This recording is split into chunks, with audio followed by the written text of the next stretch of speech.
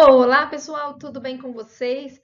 Para não ficar muito extensa a aula de métodos contraceptíveis, então eu resolvi dividir em duas partes, tá bom? Então agora vamos para a segunda e última parte, né, de métodos que previnem uma gravidez.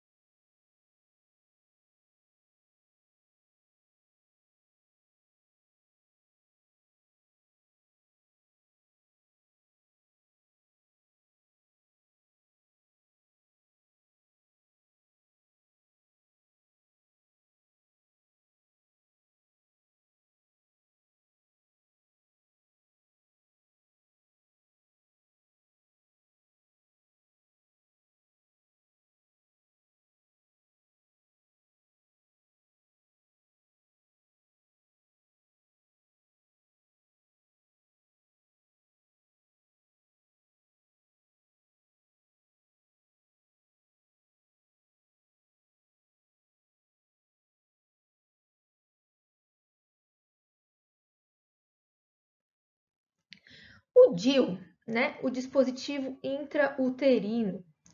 É, o DIU, hoje os DIUs mais uh, atualizados, né, ele é um dispositivo de plástico, tinha, tinha de cobre também, tem, ah lá, daqui eu até coloquei, de cobre. Então, ele tem hormônio, ele fica liberando o hormônio, ele é colocado na, no útero da mulher, olha só, tá? E o que que acontece? Acontece que o DIU ele causa uma inflamação na parede do útero que impede a nidação, a fixação do embrião, né? É, há quem diga que alguns DIUs também impedem a fecundação, mas o conhecimento que eu tenho do DIU, né, é que ele impede a fixação do embrião. Se o DIU impede a fixação do embrião, isso é muito questão religiosa e pessoal de cada um, né? É o uso do DIU, então, teoricamente, de acordo com a maioria das religiões, você teria um aborto, né? Porque já formou o embrião, porque o embrião forma aqui na tuba uterina, como a gente já viu na parte 3 e na parte 4 lá de sistema reprodutor. Ok? Mas é um método bem eficiente, as mulheres gostam muito dele para evitar gravidez, tá? Principalmente essas mulheres que têm parceiros fixos, mas, mais uma vez, né, não impede aí a transmissão das doenças sexualmente transmissíveis. O DIU, se eu não me engano, você consegue, acho que, ficar com ele cinco anos, tá? E o mais comum método contraceptivo, né, que é o uso dos anticoncepcionais. Os anticoncepcionais, eles têm hormônios e esses hormônios, então, eles, a maioria deles não permite que a gente libere o ovócito, não ovule, né? Então, se não libera o ovócito, não tem fecundação, ok?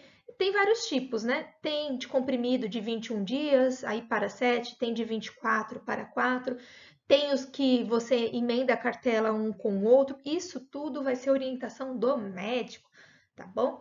Eu, por exemplo, odeio menstruar, sofro muito, então o meu anticoncepcional ele é, é direto, ok? Tem também os injetáveis, tem aqueles implantados como se fosse um chipzinho é, sobre a pele. Isso tudo você tem que conversar com o médico. Mais uma vez, não previne doenças sexualmente transmissíveis. E a famosa pílula do dia seguinte, tá? A PDS. A pílula do dia seguinte, ela vai, se você tá para ovular, a carga hormonal da pílula do dia seguinte, ela é tão grande que ela vai impedir a sua ovulação, tá? Impede ou retarda. E se você ovulou e teve a relação sexual, ela vai evitar a chegada do espermatozoide, ok? Mesmo tomando a pílula direitinho, o que é tomar a pílula direitinho? Eu tive uma relação sexual não protegida hoje.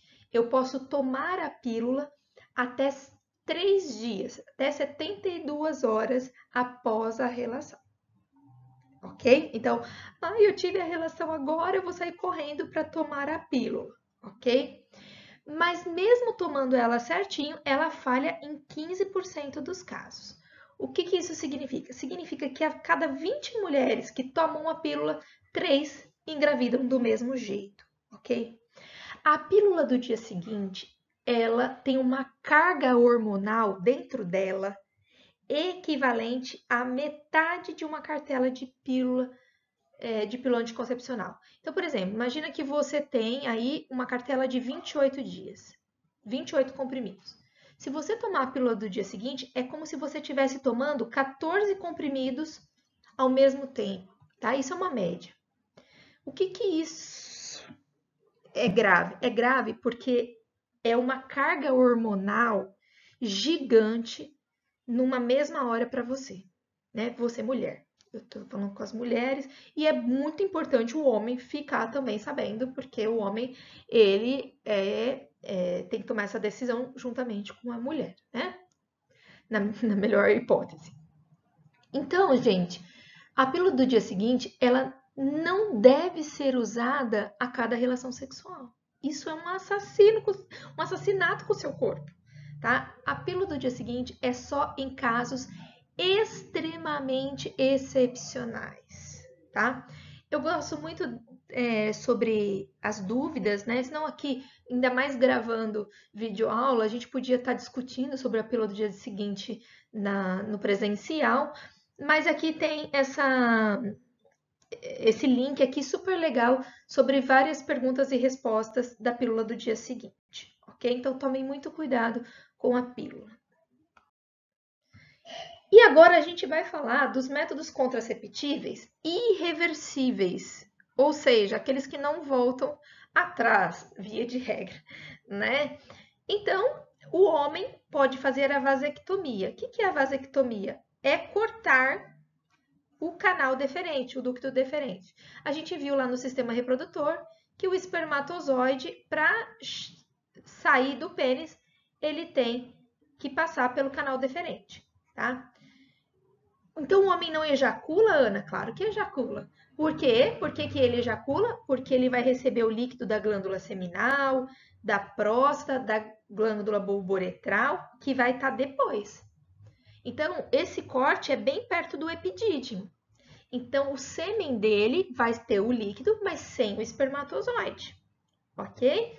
é, o testículo continua produzindo hormônios naturalmente, tá? Não tem disfunção erétil, ai, nossa, é, vou broxar. Não existe isso. O hormônio do testículo é, continua sendo produzido normalmente.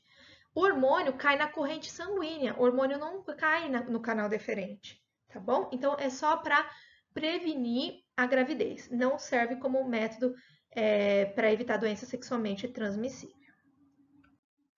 E a laqueadura na mulher, que é cortar as trompas de falópio, né? Tem várias formas, esse anel quase já não se usa mais, porque aconteceu com a minha sogra do meu ex-marido, né? A mãe do meu ex-marido. Ela fez a laqueadura, soltou esse anel e ela engravidou do terceiro, ok? Então hoje eles cauterizam mesmo, eles igual a vasectomia. Por que, que isso é um método é, contraceptivo? Porque a fecundação acontece na trompa. Então, quando você corta a trompa, o teu ovócito nunca vai chegar a fecundar com o espermatozoide, né? Não vai ter o um encontro amoroso, ok? Então, a laqueadura, ele vai impedir que o espermatozoide e o ovócito se encontrem. Mais uma vez, não impede doenças sexualmente transmissíveis. E a gente finaliza essa aula com duas questõezinhas, essa e a próxima. Eu espero que vocês tenham gostado. E qualquer dúvida